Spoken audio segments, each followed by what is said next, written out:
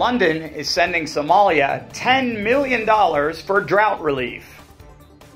The donation is expected to assist half a million Somalis who are facing hunger.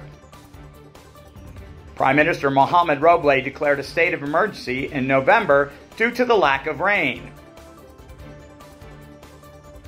UK Ambassador Kate Foster has been keeping a close eye on humanitarian assistance since she took up her diplomatic post last year.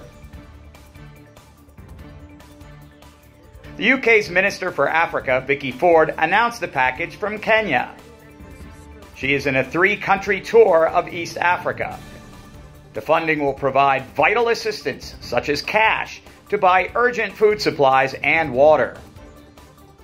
They expect to help vulnerable families across Somalia who are desperately suffering from a relentless drought. The support is part of the 17 million pound package of UK support to countries in East Africa affected by flooding as well. Over 90% of Somalia is experiencing drought conditions. There are close to 5 million Somalis who are hungry and a further 3.5 million in need of urgent humanitarian assistance. A further 2.6 million people have fled their homes due to conflict. Climate change is driving extreme weather events across the region. On her visit to East Africa, Ford said, For countries in East Africa, climate change is not a future problem. It is driving a humanitarian emergency right now.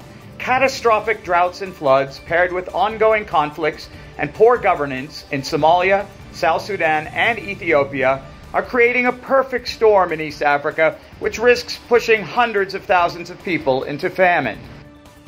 She added, the UK's commitment to supporting our partners in East Africa is unwavering, and we know that early action now can prevent mass loss of life. This funding package will provide vital assistance to almost a million people across the region, helping those affected to access clean water and healthy food.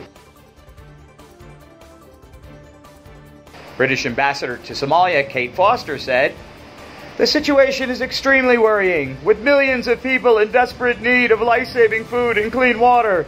The UK is moving quickly to provide support with an additional $10 million of funding, as experience have shown that early preventative action is vital to avoiding mass loss of life.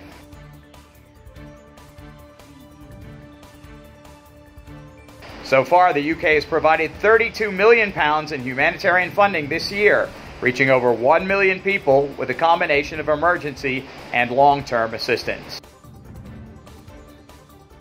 ADN TV will continue to report on humanitarian projects in East Africa.